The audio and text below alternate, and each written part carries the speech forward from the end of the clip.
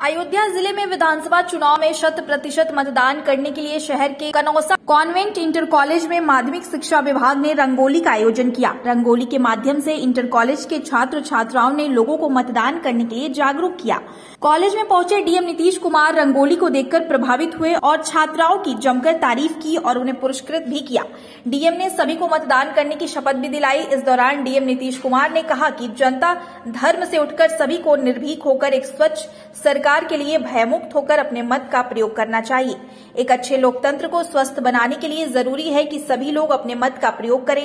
अयोध्या ज़िले में पाँचवें चरण में 27 फरवरी को मतदान होना है। सभी विद्यालयों ने इसमें लोकतंत्र को जीवंत बनाने के लिए और मतदान में सहभागिता सुनिश्चित करने के लिए प्रेरणा देने के लिए समाज को और अपने स्वयं को भी प्रेरणा देने के लिए कार्यक्रम आयोजित किया था और बच्चों ने काफ़ी अच्छी रंगोली बनाई और थीम बेस्ड रंगोली बनाई, उसका एक पर्पस था, उस हर एक चित्र के माध्यम से वो बताना चाह रहे थे किस तरीके से मतदान करना चाहिए।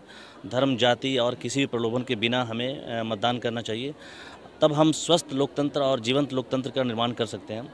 और बच्चों ने बखूबी समझा है लोकतंत्र को, और जिन्होंने 18 वर्ष की आयु प्राप्त कर दी है, वो मतदान करेंगे और लोगों को प्रेरित करेंगे, अपने समाज को, सभी आसपास के लोगों को प्रेरित करेंगे कि मतदान का बिना प्रलोभन से निष्पक्ष और पारदर्शी तरीके से मतदान करें।